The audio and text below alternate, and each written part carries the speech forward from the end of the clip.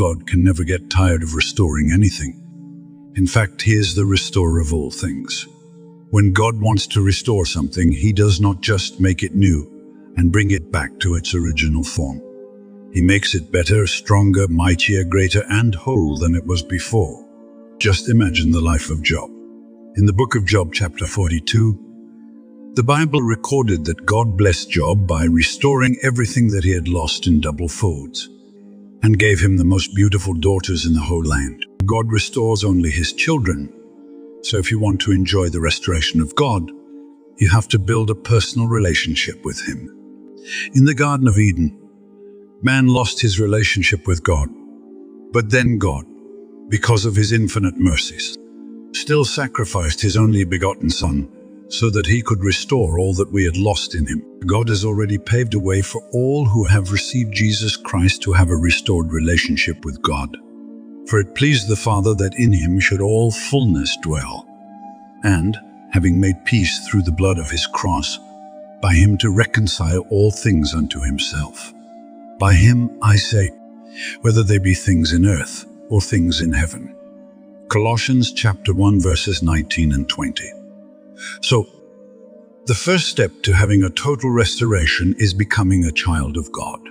It is common knowledge that everything except for time can be gained back. But then God clearly promised us this impossible feat.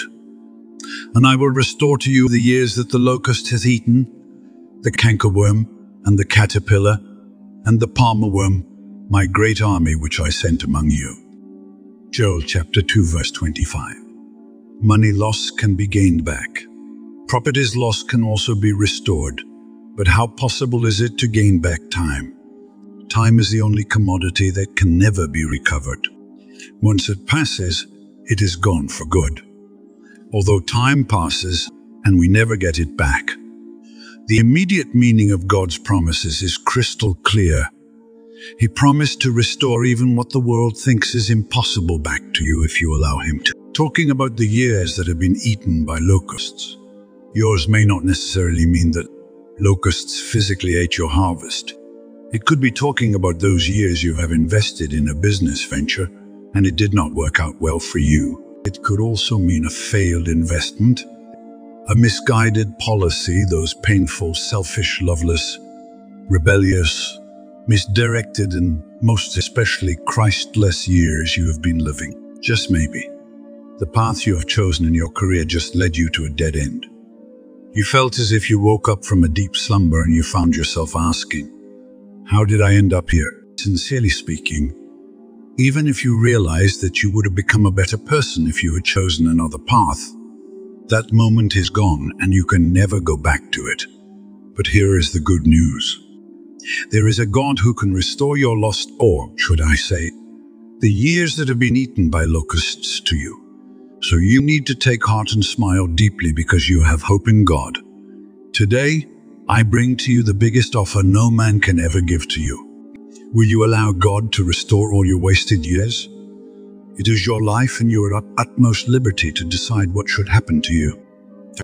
When you take a quick glance at your past life, when you think about where you came from and where you are right now, you will realize that God has always been in the business of restoring you.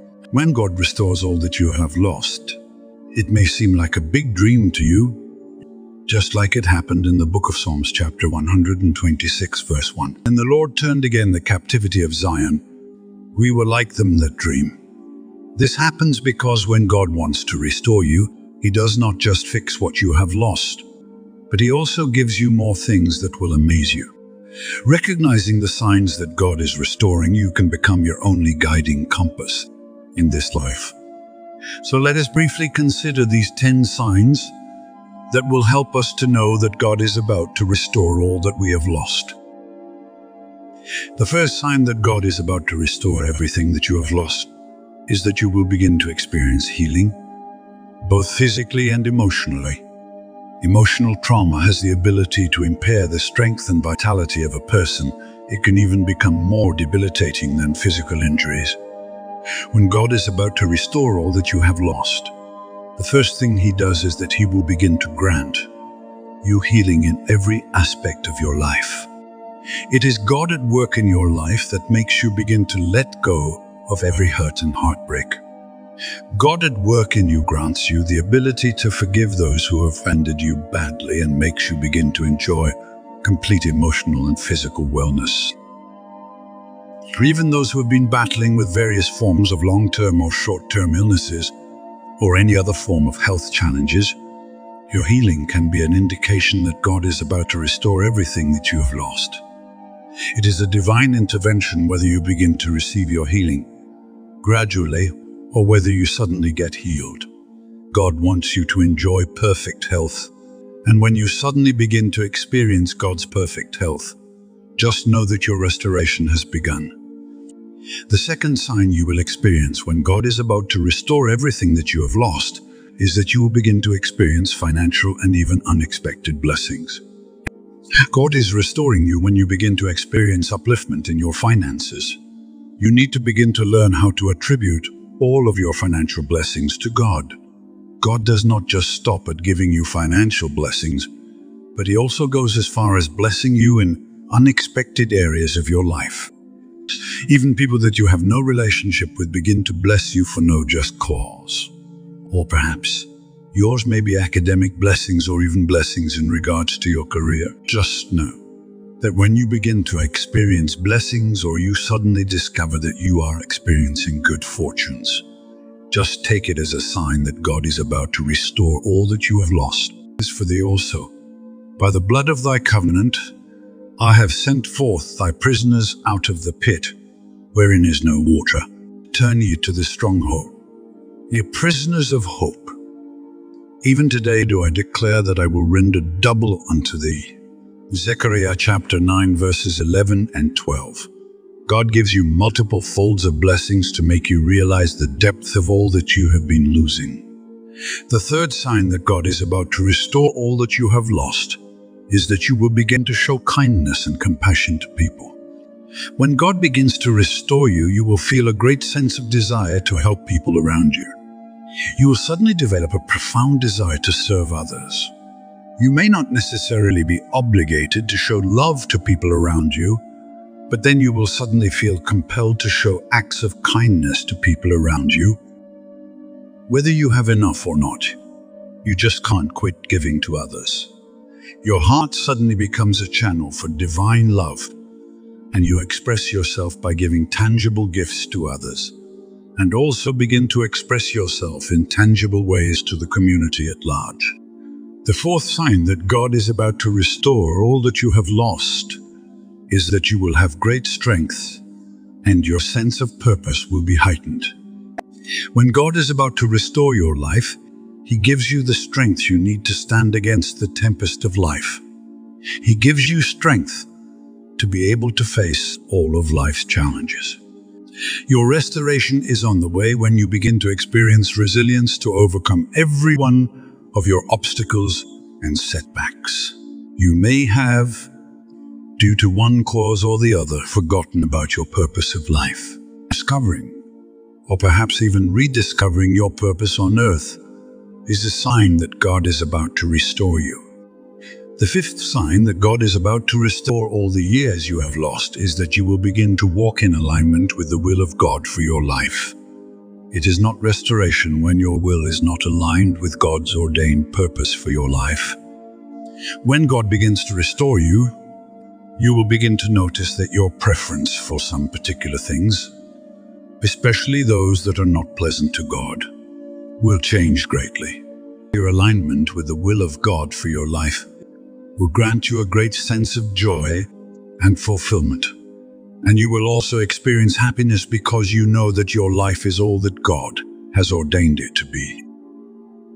The sixth sign that God is about to restore all that you have lost is that you will begin to feel as if the Holy Spirit has invested upon you legal powers to work miraculous deeds. You will suddenly begin to feel empowered by God's Holy Spirit. The most amazing aspect of the restoration of God is that God does not just mend your broken pieces together or just give you all that you have lost, probably in double folds. The perks of God's restoration are that you will be empowered by the Holy Spirit. Scripture made us understand that His Spirit will give us power And that power is what we will begin to enjoy the instant God begins to restore us. The Spirit of God in you grants you the ability to do everything, even what you have never dreamt of, even what you know you cannot do. But then, with God, all things are possible. So your knowledge that God can do all things enables you to engage, even in the humanly impossible things, because you are confident in God. You know that His strength cannot fail you. You will definitely be scared of nothing at all, because you know that you have the backing of God the Father, God the Son, and also God the Holy Spirit. You suddenly begin to feel as if you can face the world all alone because you are certain that God is with you. The seventh sign that God is about to restore all that you have lost is that you will begin to enjoy complete peace, even in the midst of chaotic challenges. And also, you will be resilient against all of your oppositions. God will not take away your problems because He wants to restore you. What He does is that He will grant you sufficient strength to be able to face the challenges. You will suddenly discover a great inner strength you never knew that you had, and this will make all of your obstacles become stepping stones for you. There is this great inner peace that can only be given to you by God Himself, which has the ability to transcend every external situation. It is this same peace that has the ability to strengthen you and also encourage you that everything can be totally all right because God is working things for your good. The eighth sign you are likely to receive is that you will become more hungry and desperate for the things of God. You will suddenly begin to experience heightened awareness of the power of God at work in your life. Just a simple short prayer would be more than enough to make you feel divinely connected with God. Now, this realization that you are never alone and that the presence of God is with you will infuse great joy in your life. The irresistible longing for more of God is a clear indication that God is restoring you. Your spiritual knowledge will always want to be enlightened and you will feel deep hunger and thirst for righteousness. You will just realize that you can never have enough of God. And this is true because the more you know God, the more you will want to know God. And I dare to tell you that your knowledge of God can never be filled. The ninth sign that God is about to restore all that you have lost is that you will begin to comprehend things more clearly. You may suddenly feel like a huge fog has been lifted off your life, and you can now understand what has been happening in your life. You will begin to be able to identify the hand of God at work in your life. You will have a clearer understanding of the scriptures, and even your general lifestyle will be greatly affected. This will be so high that you will begin to see failures as stepping stones to your success. Because of your clarity of thoughts, you'll begin to see your setbacks as opportunities instead of allowing them to define your capability.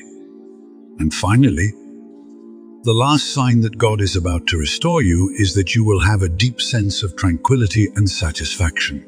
Your spiritual connection will be deepened, and even your relationship with others that has been damaged will be restored. God is also concerned about our relationship with other people. So when He wants to restore you to your totality, He will help you to redefine your relationship with others. God will help you to begin to interact with all those important people that you need to have a successful life, whom you may have been separated from.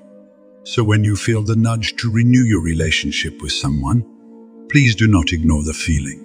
Maybe God is about to restore your lost years during the period prior to the moment God is about to restore you, you may begin to feel drawn to spiritual activities.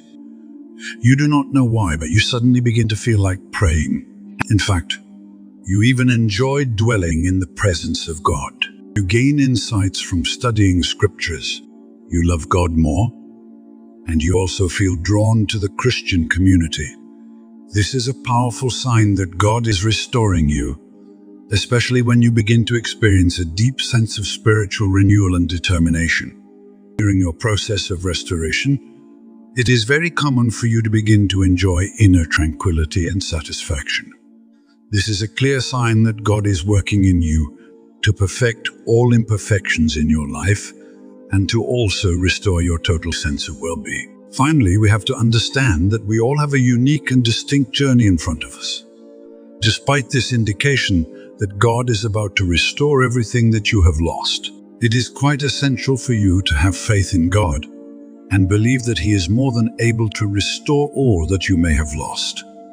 Even when you feel pain in your heart, I want you to still console yourself with the precious knowledge that God is working to restore everything back to you. When you ponder deeply about your life, you will discover that God has always been in all of your successful endeavors. God has always been restoring you even in ways that you may not have realized. I hope these signs will help you to become more confident in the process of God's restoration. I pray that it will make you become more patient and trust in God, even when you cannot physically see His works in your life. Always be thankful to God for His awesome works in your life. Let us pray. Dearest Father and friend, eternal rock of ages, King of kings, Lord of Lords, the lily of the valley, bright and morning star, rose of Sharon, ever-loving healer, wonderful, merciful Savior, mighty Redeemer, we thank you for your goodness, mercy, love, favor, kindness, faithfulness, and our unfaithfulness and grace, even when we are ungrateful. We thank you because you have been with us always, right from when we were born to this very moment. You always come through for us. We know that it's not by our own strength, power, or might, but it's all been you. So we have come to return all the glory, honor, and adoration unto your blessed name. We thank you, Lord Jesus, for your gift of salvation. Thank you for your ever-abounding grace and mercy. Thank you for your ever-present help in times of need.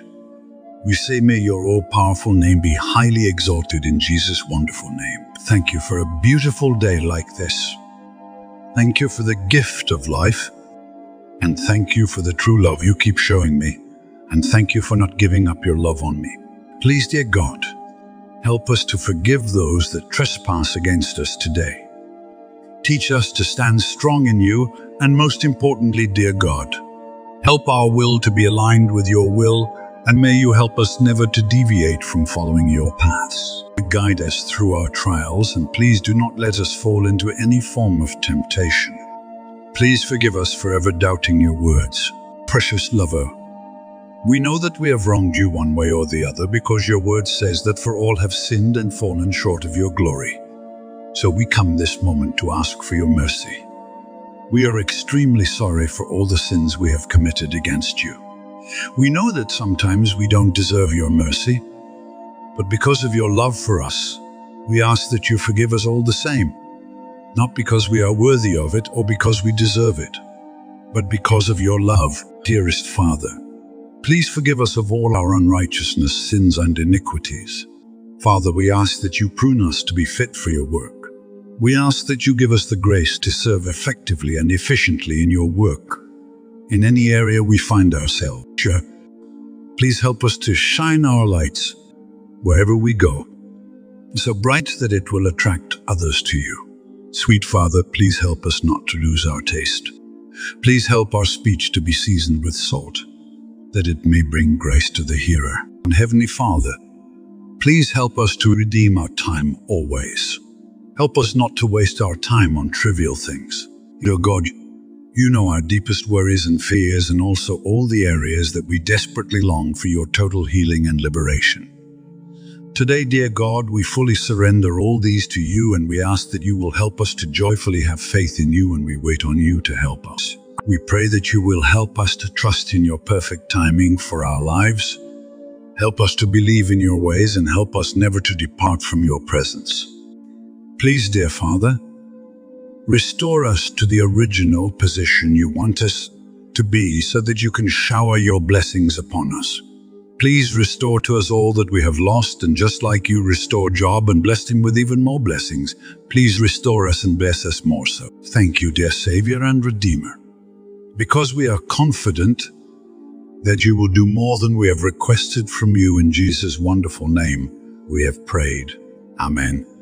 Please leave us a comment, also like this video and share it so that it can get to more people. Please do not forget to subscribe to this channel so that we can grow together.